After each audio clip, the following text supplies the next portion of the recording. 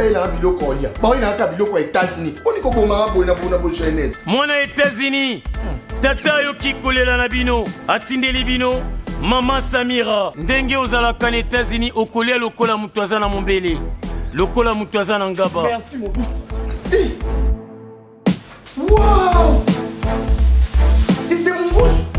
Bana ya etats-unis kolia bio ekomi lolenge na bino mpo na kozwa mbisi ya kokauka to mpe mafuta ya mbila Chez Mama Samira. ata ozali na posa ya mbinzo ndakala mayebo safu ezali mpe bitoyo chez mama samira mansoma azali eloko moko te yo koluka okomona te.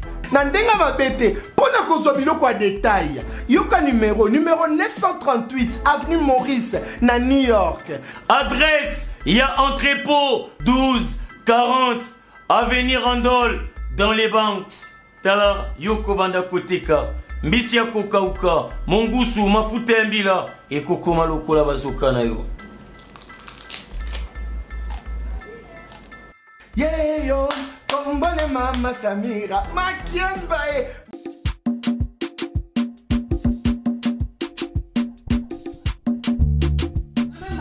ozolebe nini ebela Mama. nazolebe te. Eh. nazoyoka kaka etats-unis balobi plus précisément na kati ya washington. Balobi mama marte nde.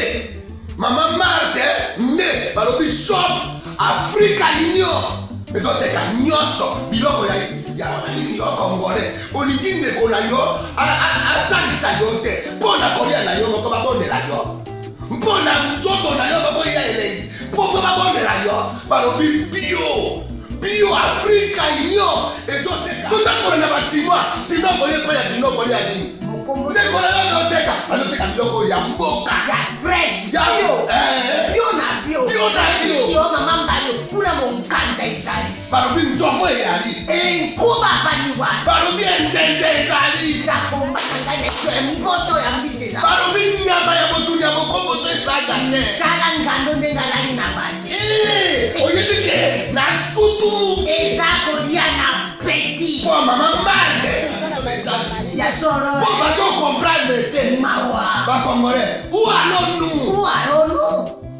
Kolia na bino moko. Bino kolia na apeti nzongo na yo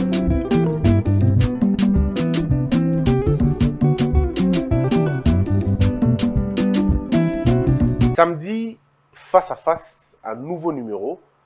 On va parler politique, on va parler euh, bilan du président de la République, cette fois-ci par l'une de bouche du président. Ça veut dire un, un communicateur du président de la République, celui qui fait la lecture de, journaux, qui informe le président de ce que dit la presse. Félix Kabbalah est avec nous aujourd'hui, après, je crois, deux semaines de- de- d'absence. Euh, bon, parce qu'il faut le laisser aussi pas- passer dans d'autres médias.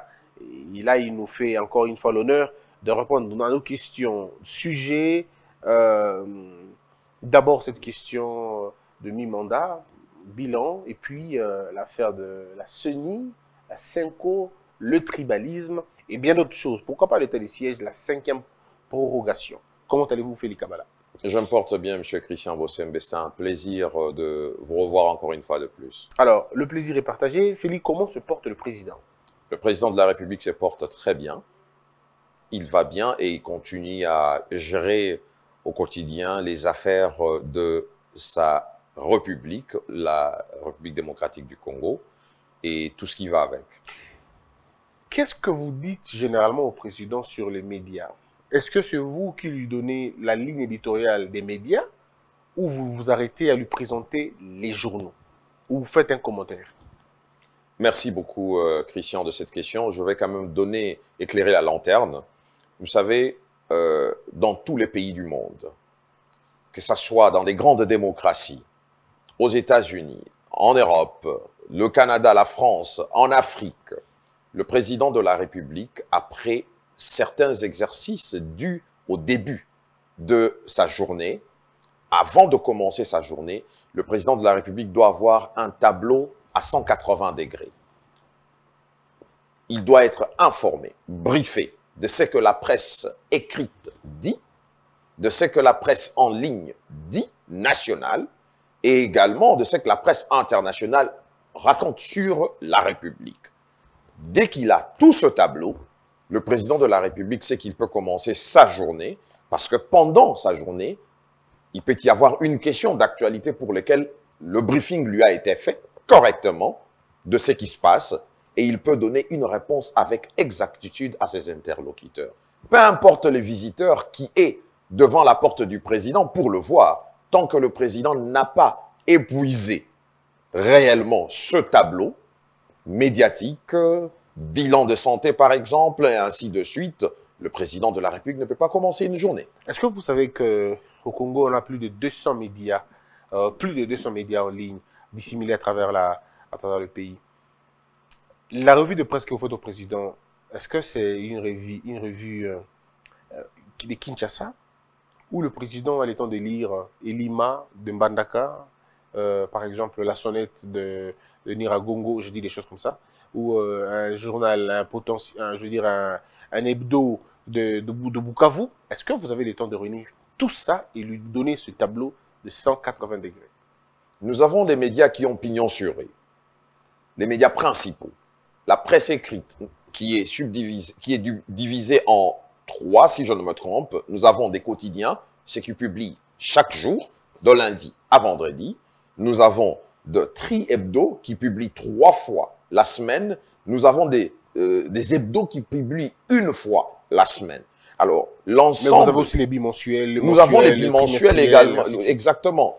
Alors, l'ensemble de tous ces médias est présenté, les- normalement, les informations, ce sont les grands quotidiens qui la font. Euh, les, les- les grands quotidiens connus, je ne vais pas faire la publicité ici, vous le connaissez, ce sont des grands journaux. Alors, lorsque ils ont des sujets pour lesquels, des fois, des sujets pour lesquels le président de la République est en train de travailler même pour donner des résultats, nous en discutons avec le chef de l'État. Est-ce que vous le présentez le On lui média, présente le bilan. vous présentez le média de gauche ou de droite? Nous lui présentons les. je- bon, nous lui présentons, je ne, veux- je ne vais pas dire que c'est moi seul, parce qu'il existe également un directeur de la communication qui a aussi son moment de briefing avec le président de la République. Moi, je lui présente dans la généralité l'ensemble de ces médias.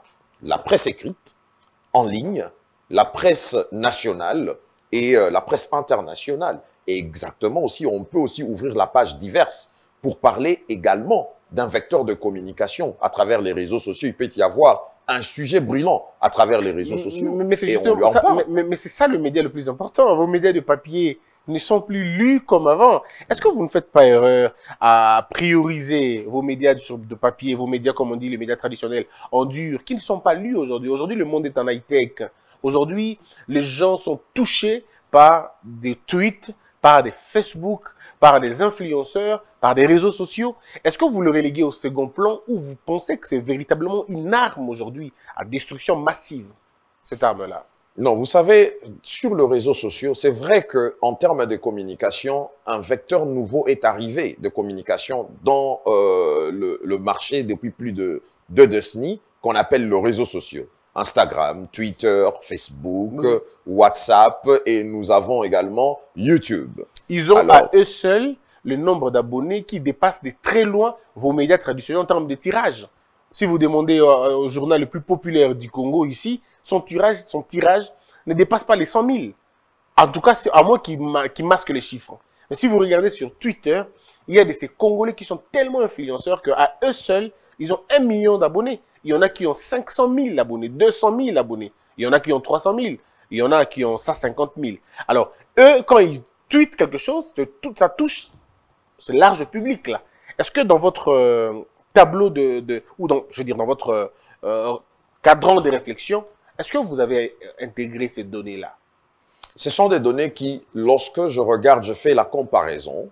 Vous regardez les grands quotidiens, parce que ce que je fais, c'est quoi? Quand je suis dans la ligne, les grands quotidiens, je me plonge également dans le grand vecteur de communication aujourd'hui, les réseaux sociaux. Je vais sur ce qu'on appelle les grands influenceurs de la République. Je vois sur YouTube, sur WhatsApp, Facebook, et en général, en général, je retrouve les sujets traités sur les réseaux sociaux apparaître sur dans, les, dans ces grands quotidiens. Bon, par rapport aux chiffres, le nombre de- de- d'abonnés, de, personnes, de followers, comme on l'appelle communément dans le jargon de réseaux sociaux, je ne peux pas discuter du fait qu'il y a plus de followers, il y a plus du monde dans les réseaux sociaux, et c'est la raison pour laquelle nous tirons les informations également de là pour savoir quelle est l'actualité qui brûle, quels sont les sujets qui fait débat, quels sont les sujets qui intéressent le plus. Est-ce que ces sujets est bien répertorié dans la presse quotidienne, effectivement, je le retrouve là-dedans. C'est la raison pour laquelle cet équilibre, on ne peut que présenter au président de la République une norme qui existe depuis belle lurette, sans pour autant négliger le vecteur de communication qu'on appelle réseaux sociaux. Parce que ce qui est bizarre, depuis que ces choses ont commencé, le chef de l'État n'a accordé aucune interview aux journalistes des réseaux sociaux. YouTube, Twitter, Facebook, rien du tout. Toutes les interviews, dans le grand plan, figurent les présentateurs des émissions de radio ou de la RTNC. Mm. Est-ce que vous ne craignez pas que ces gens-là se considèrent comme, se retrouvent dans une sorte de déconsidération et qui se retournent contre vous finalement? Euh, vous savez, je vais tempérer mes propos. Le président de la République a cette casquette officielle et traite avec l'officiel, sans pour autant négliger tous ceux qui font le travail en parallèle dans le privé. J'aimerais dire ceci, ce n'est pas une promesse, parce que je ne fais pas de promesse et je ne ferai pas de promesse également à qui que ce soit. J'en parlerai au président. Excellence, voilà le problème, comment est-ce qu'il se pose? C'est une demande de journalistes qui sont sur les réseaux sociaux, qui ont pignon sur eux.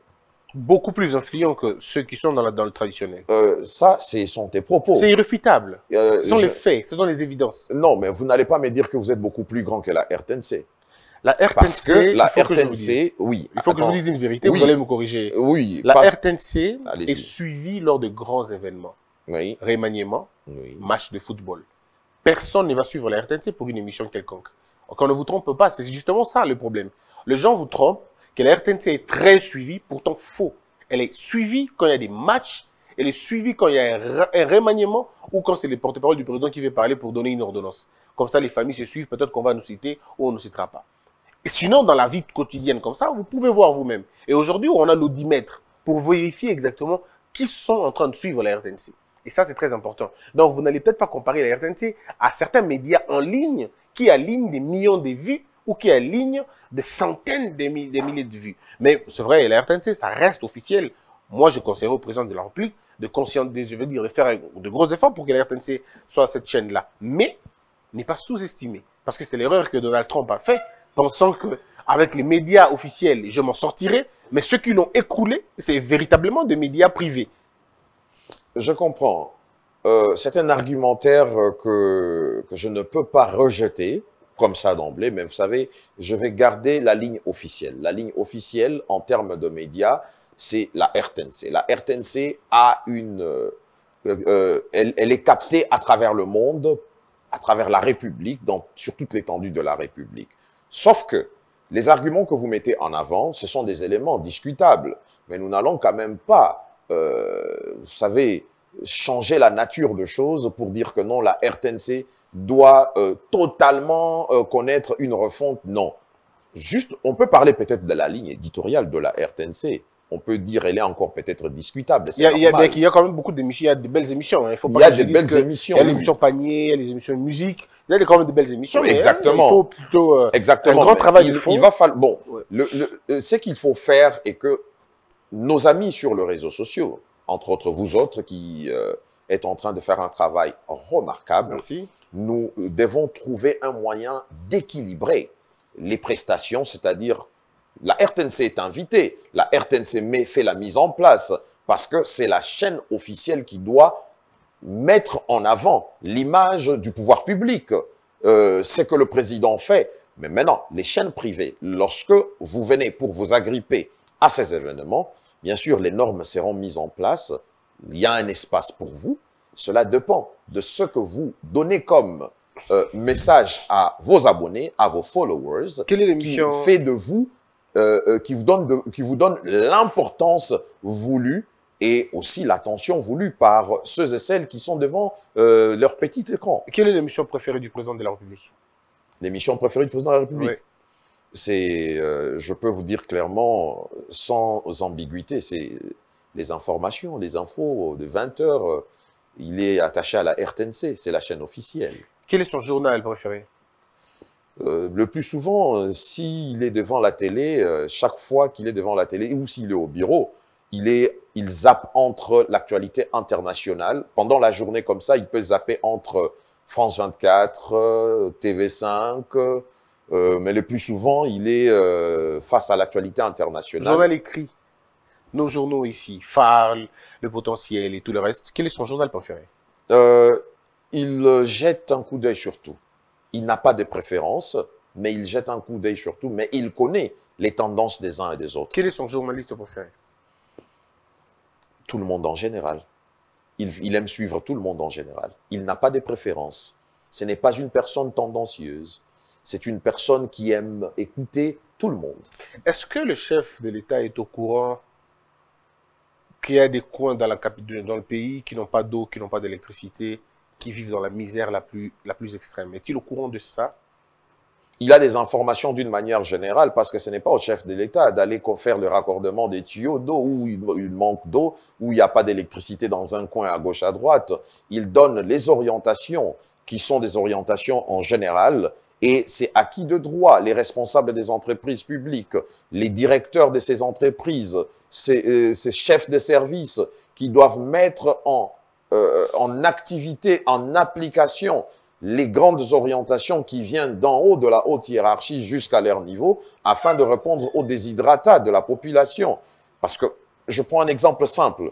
En venant en cours de route, il y a un endroit, par exemple, des endroits du coin de la route de la capitale où vous trouvez qu'il y a des, des- des nids des poules. Vous voyez que les routes ne sont pas à un certain endroit en bon état. Ce n'est pas au chef de l'État qu'on doit poser cette question. C'est aux responsables de ces départements, de ces secteurs, de l'OVD par exemple, de l'office de route. C'est à eux d'aménager les voiries, c'est à eux de pouvoir réparer les routes parce que les grandes orientations existent. Le président n'attend que des rapports. Est-ce que le président, on va terminer avec le président, est-ce qu'il est au courant qu'il y a une élève qui a été abattue dans le Massissi, simplement parce qu'elle devait traverser une, euh, une barrière, et passer par une barrière, et on lui a demandé de payer 0,25 euh, dollars, quelque chose comme ça, et que ça n'a pas marché, on l'a abattue.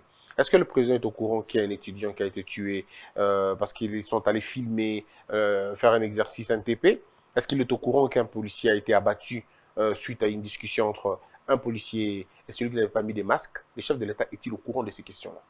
Le président de la République est informé au quotidien de tout ce qui se passe. Est-ce que vous lui avez dit ça euh, il y a d'autres informations parce que vous savez, trop d'informations tue l'information. Je ne peux pas venir avec 20 000 informations là où le président en a déjà 30 000. Je viens avec une information structurée. Je la lui présente. Président, voici le tableau. Est-ce que vous lui avez montré ces cas-là? Le président, c'est une personne connectée. Le président est connecté sur les réseaux sociaux. Félix Kabbalah, est-ce que vous, vous avez dit au président de donner ces éléments que je vous ai donnés tout à l'heure? Pas forcément. Pas forcément, Très mais bien. les services existent. Très bien. Les services de la République, j'ai confiance aux services qui euh, informent le président euh, assez régulièrement, avec une fréquence vraiment bien soutenue et bien appuyée.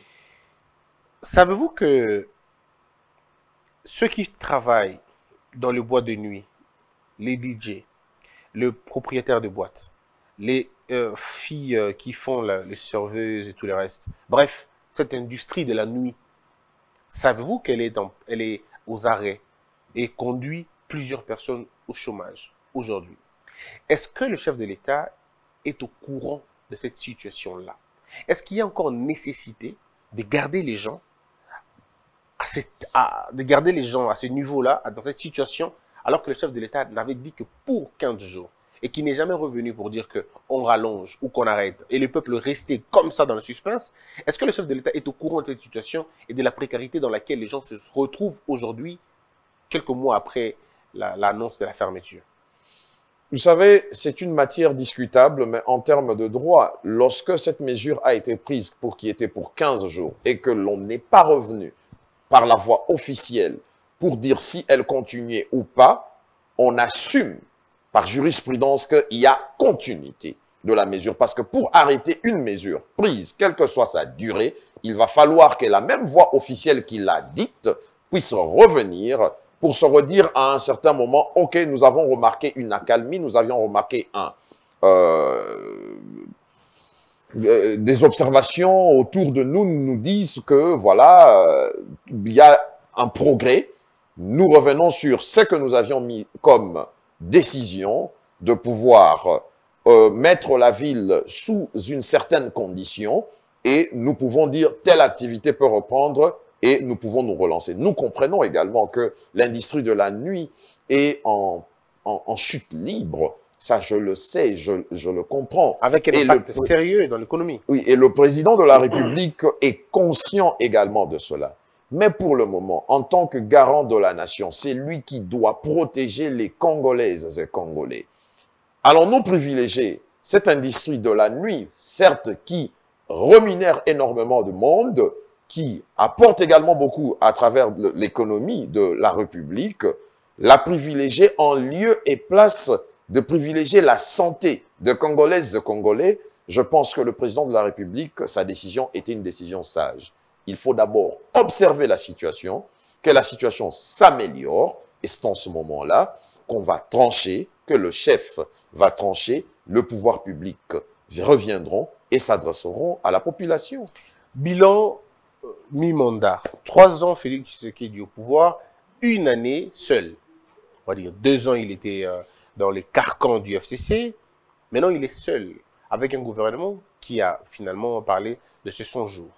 D'abord, est-ce que le chef de l'État est satisfait de 100 jours de Warrior?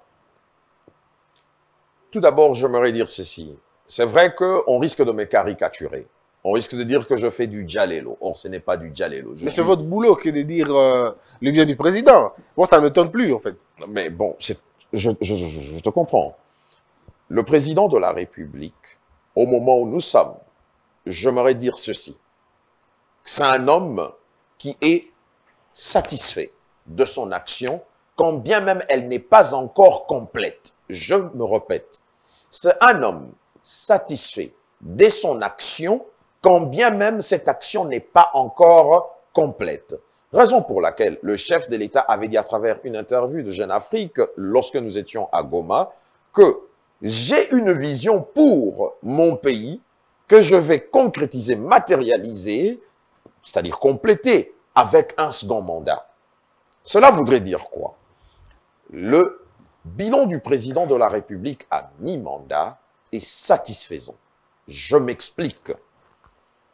1. Le président de la République a hérité d'une nation en faillite, d'un système abîmé, d'une image de la République de l'intérieur comme de l'extérieur détruite, en panne. Alors, lorsqu'il prend le bâton de pouvoir, il hérite de ses bilans, de l'actif et de ce passif. On peut hériter d'une entreprise en faillite, mais on va poser les jalons du redressement de cette entreprise. On a vu dans la vie quotidienne, euh, dans la vie sociale et économique, des entreprises en faillite qui ont été reprises par des repreneurs et ils ont été mis en redressement et ces entreprises sont sorties du gouffre de la négativité vers la positivité. C'est vrai que de la négativité à la positivité, nous avons une période de contraction.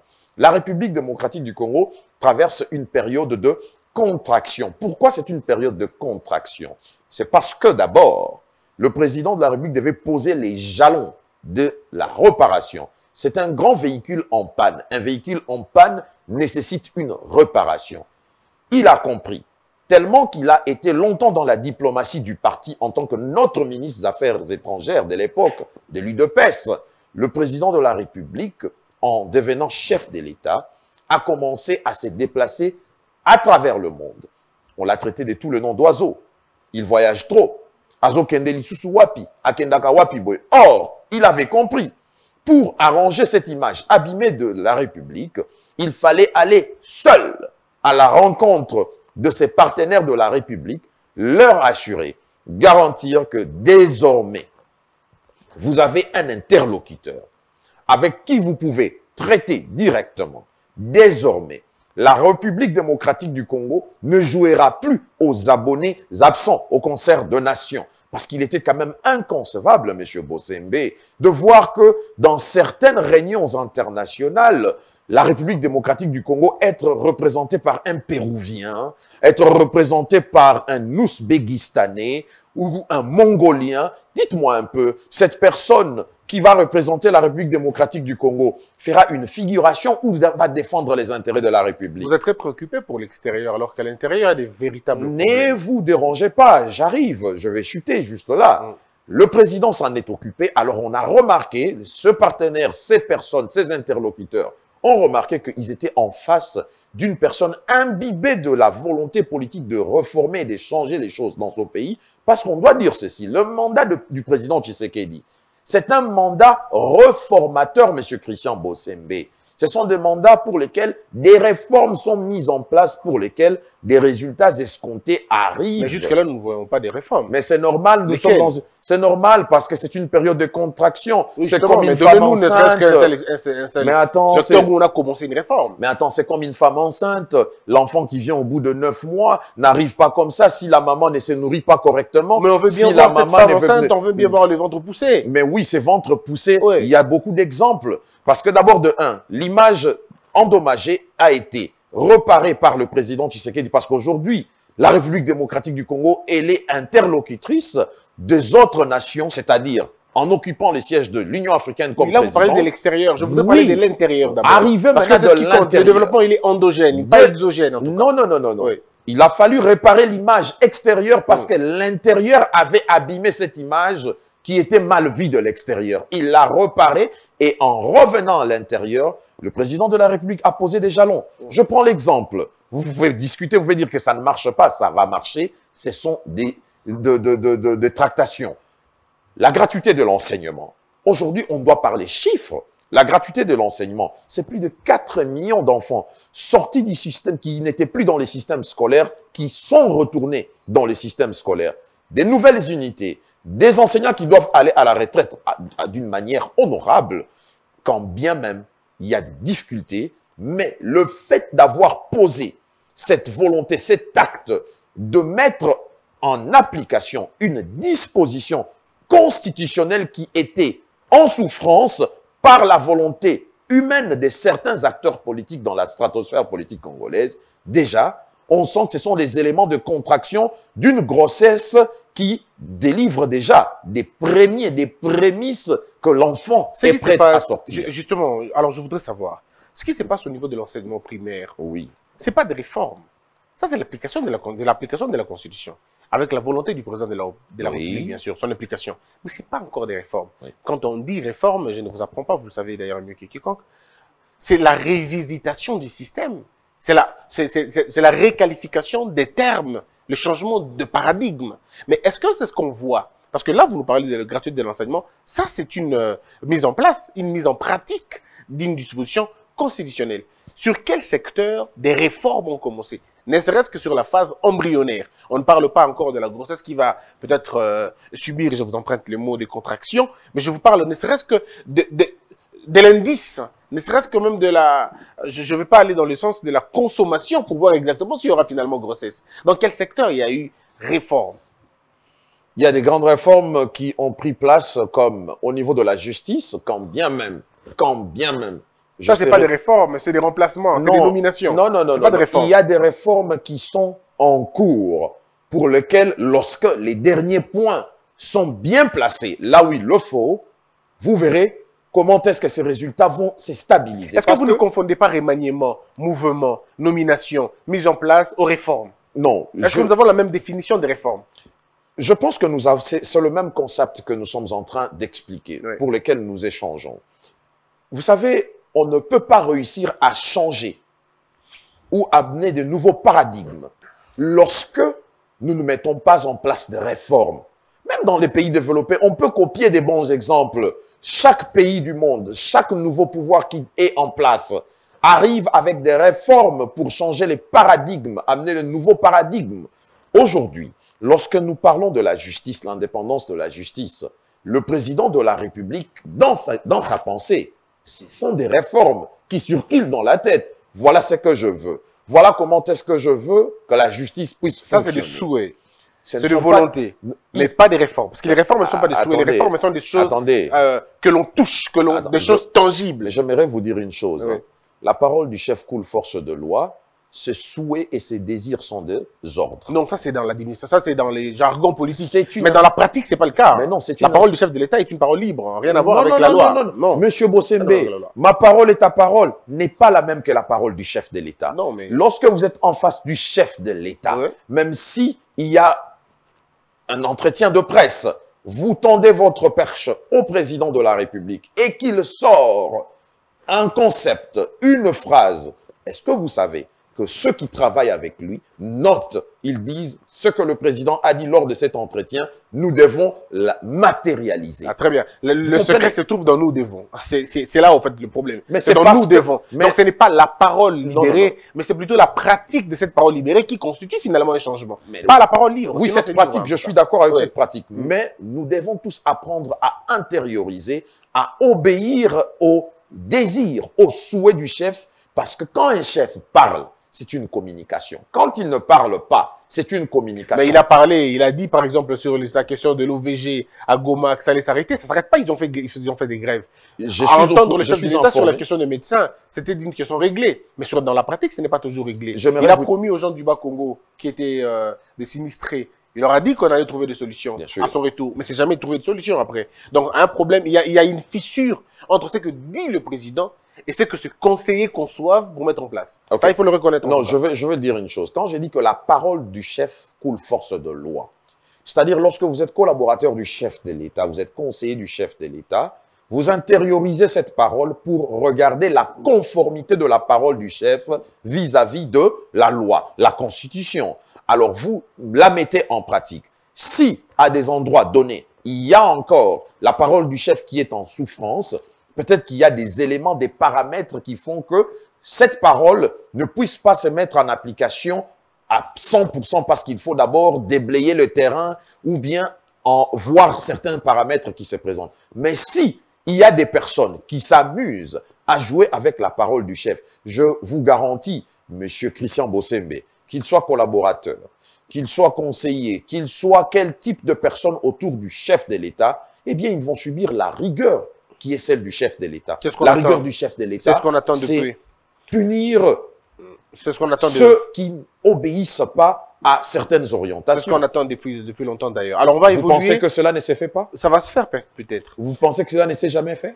Je sais pas. Moi, Vous moi, pensez? c'est moi qui pose des questions, mais en tout cas pour l'instant. Non, est-ce que vous pensez que cela ne s'est jamais fait? Euh, je sais pas. Il faut voir avec les auditeurs. Il y a des personnes qui sont toujours recadrées. Oui. Vous pensez que moi qui vous parle ici, je n'ai jamais été recadré? Vous ne souffrez pas le même boulot en tout cas si vous étiez. Je recadré. comprends qu'on ne fait pas le même boulot avec Oui. euh, certaines personnes, mais vous pensez que je n'ai jamais été recadré, moi, par le chef de l'État? Quand et où pourquoi?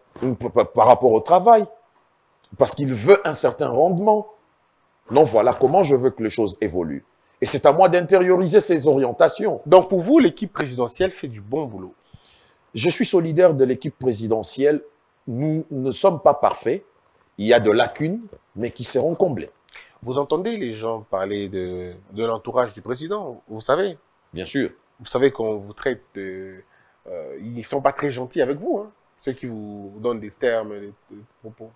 Est-ce que vous savez que la communication du président de la République, ça c'est depuis longtemps d'ailleurs que vous savez, a des sérieux problèmes, et au niveau national et au niveau international? Il est le président de l'Union africaine, mais jusque-là sur la RTNC, aucun documentaire de la prise du pouvoir du président de la République, des réalisations faites, de contacts qu'il a fait, des, des- objectifs, tout ça, nulle part on a vu ça.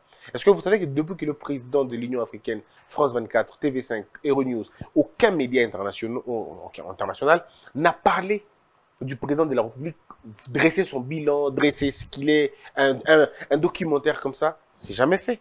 Au niveau international, on ne sait pas. Quelle est la vision du président de la République? Au Botswana, il y a un documentaire qui est passé, je crois, dans une chaîne internationale, où certains Africains ne connaissaient même pas que le président de la République était, était, président, notre président était président de l'Union africaine. Est-ce que vous êtes au moins d'accord que l'équipe de la communication n'anticipe pas, ne pense pas, n'organise pas les choses pour sauver le président de la République Je ne dirais pas ça, mais je comprends que ces observations sont pertinentes et qu'elles elles sont adressées aux personnes réceptives et que le nécessaire est en train d'être fait pour remédier à la situation. Nous avons un nouveau directeur de la communication à la personne de Eric Nindou qui euh, fournit des efforts au quotidien pour communiquer assez régulièrement avec tout le monde autour, moi y compris, je ne me mets pas à l'écart, et euh, les difficultés sont là. Il connaît c'est quoi les difficultés, nous connaissons c'est quoi les difficultés. Ce sont des difficultés euh, d'ordre logistique qui sont présentées à qui de droit, et ceux-là qui ont la responsabilité de pouvoir aménager euh, la réalité vis-à-vis de ces difficultés, je le reconnais également, sont en train de fournir des efforts intellectuels pour euh, permettre à ce que nous ayons du répondant par rapport à ce que vous avez soulevé comme observation. Félix Tshisekedi euh, paraît un homme humain. Il est humain et on le sent. On le sent dans sa voix, dans son regard. C'est quelqu'un de très posé, de très calme, de très détendu. Mais pourquoi l'équipe de communication du président n'arrive pas à maximiser cette image-là. Savez-vous ce que ça peut rapporter si le président de la République va dans un centre de drépano? Si le président de la République va dans un centre des handicapés? Si le président de la République passe ne serait-ce que 30 minutes dans une école primaire avec ses enfants qui n'ont pas de banc, qui n'ont pas d'école, mais l'image d'un président avec eux, est-ce que vous, avez, vous pouvez imaginer le président de la République dans le milieu artisanal, ah, ou ar- artisanaux si vous voulez, avec des pêcheurs, avec des, agriculteurs, avec des, des, des, sais pas moi, des, des, boulangers, ah, des- ceux qui vendent la, ceux qui font un peu des marchés à la sauvette. Est-ce que avez-vous l'idée de ce que ça peut faire dans la tête des gens? Est-ce que vous avez l'image d'un président dans un transco pour prendre le temps avec les gens, pas dans une question inaugurale. Non, mais un président se lève un matin et dit aujourd'hui je vais prendre la ligne de Kinshasa, euh, pardon, de la Gombe, Tchangou ou Tchangou, Upen, que lui-même fasse une journée dans ces transcos-là. Est-ce que vous avez l'idée de ce que ça va donner à la population? Ça rapprochera plus le président. Est-ce que vous n'en pensez pas ou vous trouvez ça inutile, ça ne sert à rien Nous, c'est quand le chef reçoit les ambassadeurs, quand le chef reçoit les services des Nations Unies ou quand le chef reçoit euh, Christophe Babouvier ou ces journalistes-là internationaux et tout ça. C'est quoi l'image? Non, bon, vous savez, ce n'est pas ici le lieu pour discuter de certaines stratégies. Comment est-ce que nous allons mettre en place certaines euh, idées de proximité du chef de l'État avec son peuple? Parce que d'abord, naturellement, il est connu de tous, et vous le reconnaissez vous-même également, que c'est quelqu'un qui a une proximité avec son peuple et qui est Mais que vous n'exploitez pas. C'est un homme Euh, humain. Moi, je, je- ça, se peut, ça peut se voir. Je- vous savez, l'agenda d'un chef de l'État n'est pas l'agenda d'un ministre. L'agenda d'un chef de l'État n'est pas celui d'un DG, c'est l'agenda de celui qui a plus de 100 millions. Mais c'est pas lui qui crée son agenda. C'est vous qui le faites. Nous, non, non, nous, nous ne créons pas son agenda. Lui non plus. Ceux qui sont en charge de créer son agenda, c'est le protocole d'État. C'est le protocole, son protocole qui, en son sein, a beaucoup de personnes tout autour. C'est au protocole d'aménager son agenda pour que vous puissiez voir certaines activités de proximité qui existent déjà. Parce que je dois quand même le signaler. Récemment, il était dans une activité des pêcheurs. Le président n'est seulement pas allé marcher sur le tapis rouge à, à, à, à- à Kinkole. Il n'a pas marché sur le tapis sur- uniquement Mais sur le tapis vous, rouge. avez vu comment vous avez vendu l'affaire Il était là assis. Les réseaux sociaux Il a vous avec- ont mieux vendu le président que votre presse présidentielle. hein. Euh, bon, écoutez, vous savez, On a présenté les chefs dans les réseaux sociaux comme un humain. Alors que vous, la presse, vous présentez le président comme un président, comme un roi, en fait. Vous voyez, même dans vos termes, ça on ne peut pas dire au président. Mais dans les réseaux sociaux, on a présenté un président comme un humain, comme un Congolais, Mais comme oui, un mortel. c'est normal. Ce que Il- vous ne le faites pas. Non, mais il reste un être humain fait des chairs et des sangs. Cette proximité que le président de la République a avec son peuple, c'est parce que le mandat qu'il exerce provient de ce peuple. Très le bien. pouvoir qu'il exerce, c'est le pouvoir du peuple. Donc, il ne peut que aller là où son peuple le demande. Vous comprenez? Mm. Donc, le président de la République revenait d'une activité de proximité et il revenait d'une autre activité vers Kinshasa Ouest, si je ne me trompe, Kinshasa Ouest, pour poser la première pierre qui permettra à ce que nous puissions avoir la centrale électrique qui va desservir plus de 2-3 millions d'habitants en termes d'électricité. Euh, le- la date des livraisons, c'est, euh, je crois, à la fin du premier trimestre Beaucoup du apprennent mois ça, de mars beaucoup apprennent ça comme 2023. vous dites. hein. Parce que les médias que vous négligez, les réseaux sociaux, que, je reviens encore à ça, que vous négligez, n'ont pas pris en charge votre question. Regardez ce que les autres font. Il suffit de donner un panier à quelqu'un, mais c'est dans tous les réseaux sociaux que vous avez l'information. Mais quand vous faites des choses assez importantes, parfois on ne sait même pas. On n'est pas au courant de beaucoup de choses que vous faites, de beaucoup de choses que le chef fait, parce que vous n'avez pas La question que cette moi, notion non, de... je ne vais pas vous poser une question. Mais vous pouvez, il n'y a pas de problème. Nous avons, nous avons, nous avons, euh, nous sommes dans les vecteurs de, de- de- de communication qu'on appelle les réseaux sociaux. Il y a un compte Facebook de la présidence, il y a un compte Twitter de la présidence. Pas très suivi en tout cas. Euh, Pas beaucoup de ce followers. que moi je pourrais, je comprends, ce que moi je pourrais vous demander, allez vers ce vecteur de communication, vous trouverez énormément de dossiers de presse avec des éléments de langage Non, c'est à eux de faire le tour. C'est pas, c'est pas comme ça en fait. Ils le mettent. Pourquoi, pourquoi ils aux le aux États-Unis, c'est le non. service du président qui cherche la communi- les communicateurs. Ce sont eux qui cherchent les Je médias comprends. et non l'inverse. Je comprends, je comprends. Mais lorsque vous ne voyez pas que cela arrive vers vous, allez-y vers ces vecteurs de communication. La présence de la présidence est là. Et puisez ce qu'il faut puiser, faites-en ce que vous pouvez faire. Mais cela ne dispense pas que ne dispense pas la presse présidentielle, la communication du chef de l'État, de pouvoir aller vers les communicateurs que vous êtes ou vous lancer les invitations à prendre part aux activités du chef de l'État. Est-ce que le président est au courant de toute cette guerre euh, autour de, dans le média, dans les réseaux sociaux, sur le tribalisme par-ci, par-là? Il y a même euh, un audio qui circule.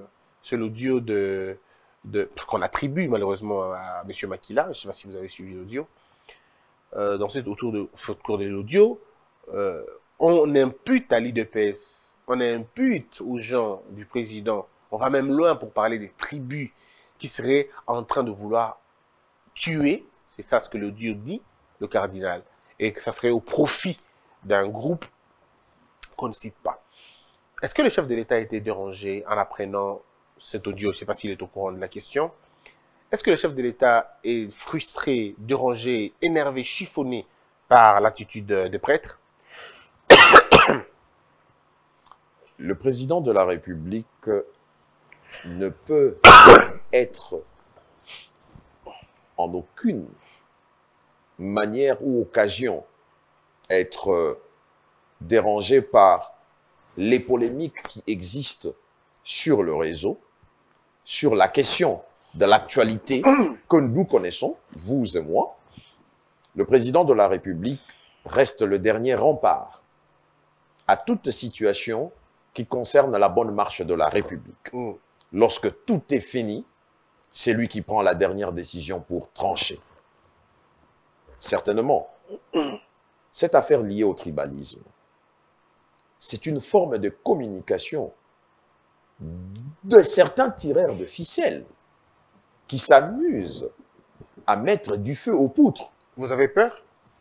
Nous n'avons pas peur. Vous, en tant que Kassaïen, avez-vous peur que ce soit vous qui, euh, qui êtes indexé? La question n'est pas, la question n'est pas être kassaïen. La question est d'être congolais.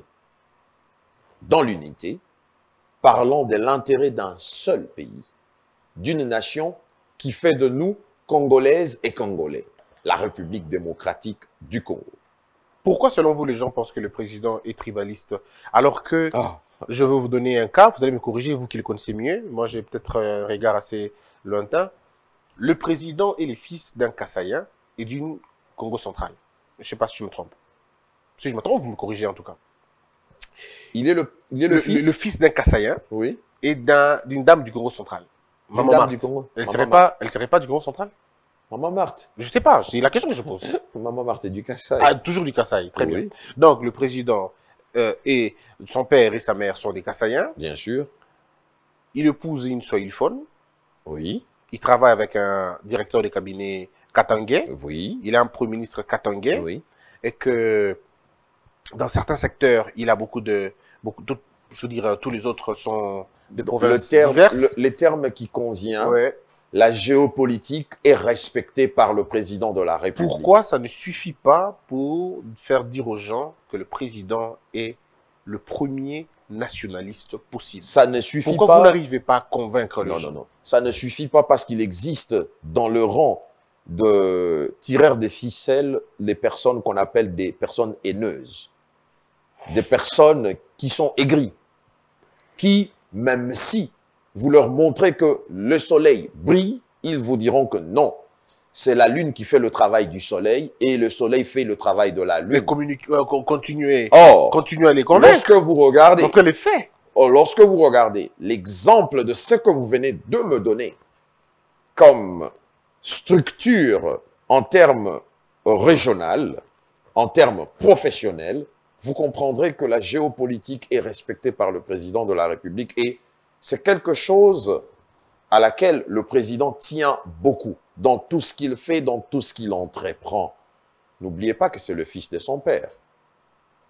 Un vrai Comment il répond, patriote, comment un il répond vrai à cette question? nationaliste, mais aujourd'hui, le nationalisme ne doit pas être interprété comme étant le radicalisme. Le nationalisme, c'est juste la dévotion qu'on a pour sa patrie, l'amour qu'on a Mais pour comment sa il patrie. répond, le chef? Comment il répond sur la question dans les discussions du couloir ou, euh, Il ne donne pas d'importance euh, à la question euh, sur euh, les tribalismes, mais il est très sévère sur tous ceux et celles qui se- s'amusent à jouer à l'incitation de la connotation tribale Est-ce qu'il est qui, dérangé si ça doit résulter dans une certaine cacophonie qui causerait des troubles à l'ordre public, ces personnes seront punies sévèrement par la loi. Peu importe leur rang. Ils seront punis que- sévèrement par la loi. Est-ce que le président est choqué par euh, ou déçu par l'attitude de certains prêtres, certains propos comme le propos de, de Monseigneur euh, Ambongo, le propos du cardinal Ambongo, pardon, euh, le propos de l'abbé Cholet, Monsieur Outembi Quels sont ces propos pour vous, lesquels savez, vous le savez mieux que moi d'ailleurs. Quels sont ces propos Mais vous le savez déjà, ces propos. Le président de la République était là pendant le funérailles de, euh, de- de- du cardinal Monsengo, euh, paix à son âme. Quand on dit qu'aucun candidat ne peut être kassaïen, au candidat au niveau de, de la CENI, est-ce que le chef est gêné? Il est frustré? Non, le chef n'est pas gêné, mais ce n'est pas une logique qui tient sa route. Pour le moment, nous n'allons pas nous mettre à commenter. Euh, c'est que certaines personnes s'amusent à croire qu'ils ont à eux seuls le monopole de tout dire et de tout faire. La République est gérée au quotidien par des responsables publics qu'on on doit se le mettre en tête. Nul n'est au-dessus de la loi. Est-ce que le président veut contrôler la CENI Le président n'a pas besoin de contrôler la CENI. Le président a besoin que les consensus puissent être au rendez-vous et il prend sa plume, il signe l'ordonnance de la personne qui sera entérinée par l'Assemblée nationale qui sera déposée devant sa table. Je m'approche pour vous poser une dernière question. Allez-y. Est-ce que le président de la République euh, vous a dit ou a dit aux gens qu'il qu'il allait gagner les élections 2023 avec certitude? Est-ce que, si- euh, supposons que quelqu'un d'autre dise qu'il sera candidat en 2023, on va l'arrêter? Est-ce que la loi va dire, ben écoute, tu, poses, tu, peux, tu fais quand tu essaies de faire la candidature ou la propagande avant les élections? Si oui, pourquoi les chefs le font? La réponse se trouve dans un entretien qu'il a eu à Goma avec euh, Jeune Afrique.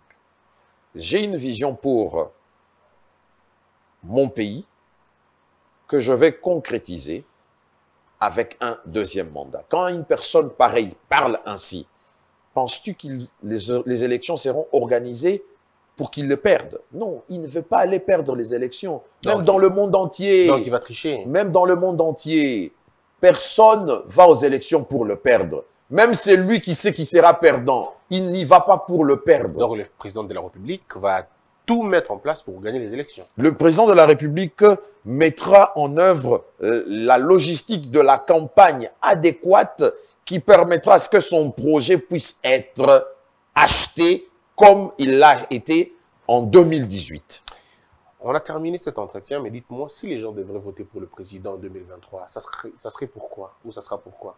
Les gens doivent voter pour le président en 2023 dès que ce processus prend toute sa forme avec toutes les discussions qu'on est en train de voir, parce que c'est une personne imbibée d'une volonté politique extrême pour lesquelles les jalons ont été posés. Les actes ont été posés, quand bien même elles ne sont pas totalement palpables, ça prend du temps pour que cela puisse être palpable. On a vu la gratuité de l'enseignement qui doit aller, qui doit continuer son cours de chemin. On voit des réformes au niveau de l'indépendance de la justice. On a vu aujourd'hui les libertés d'expression, comment est-ce qu'elles ont évolué. Aujourd'hui, un Congolais ne peut plus être inquiété dans les rues de la capitale si il critique le président, à l'exception de pouvoir insulter ou euh, traiter le président, je ne sais comment. Mais parce ceux, que on- ceux- ceux de l'UDPS, vous ne les arrêtez pas. On va, on, va, on va se lever pour arrêter cette émission. Ceux de l'UDPS, vous ne les arrêtez pas. Ceux qui insultent aussi dans le rang de l'UDPS. Euh, je me rappelle que certaines personnes qui avaient tenu de propos désobligeants euh, à l'égard de certaines autorités de euh, de l'époque, je me rappelle, il y a eu un communicateur qui communique souvent pour l'UDPS qui avait tenu des propos désobligeants, mais que cette personne était revenue sur ses paroles, s'est redite et il a présenté ses excuses. Il était emporté par l'émotion. Il fallait comprendre aussi, nous sommes des êtres humains, nous avons des émotions. Ah, mais ça, vous n'accordez pas ça aux autres. hein. Quand les gens Bien reviennent sûr. sur ce qu'ils disent, vous dites c'est cristallisé, ils vont aller en Non, non, non, non, non, non.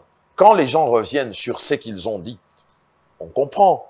On passe, on tourne la page. Le président de la République n'est pas regardant de petites querelles de bas, de bas étage. Le président de la République regarde l'action qu'il mène pour gérer au quotidien cette République afin d'avoir des résultats escomptés. Merci beaucoup, euh, Félix Kabbalah. Merci d'avoir répondu à, à toutes nos questions. C'est moi Mer- qui vous remercie. Merci aussi euh, de continuer de présenter au président de la République tous nos soutiens, le, le- le meilleur, et même tout le gouvernement de 100 jours, d'ailleurs, pour ça aussi, et de continuer à mener ce bon combat, parce que la communication demande beaucoup d'argent, et vous le savez. Mm. La communication, la sécurité sont des grandes armes aujourd'hui. Si sûr. vous ne les utilisez pas très bien, eh bien, vous êtes foutus. Donc, euh, je pense que votre communication est au courant de tous ces enjeux-là. Que nous vous souhaitons tous les bonheurs, en tout cas. Et j'espère que vous êtes satisfait du fait que nous sommes passés. Vous, vous êtes passé, ça me, ça me fait plaisir. Non, je ne, me, je, je- je ne personnalise pas ma présence ici, parce que je suis passé également pour le compte de mes collègues, comme mes collègues aussi, lorsqu'ils prennent part à certaines émissions, c'est pour défendre l'équipe. Je retiens Je que vous êtes travaille- passé d'accord à Congo Buzz. Moi, ça me fait plaisir. Vous retenez que nous sommes passés. Je retiens que Félix Kabbalah est passé euh, sur les antennes de Congo Buzz. Ça me fait plaisir. Mesdames et messieurs, merci d'avoir été nombreux. Je vous retrouve avec le même plaisir. Que la peur quitte nos esprits et que Dieu bénisse les RDC.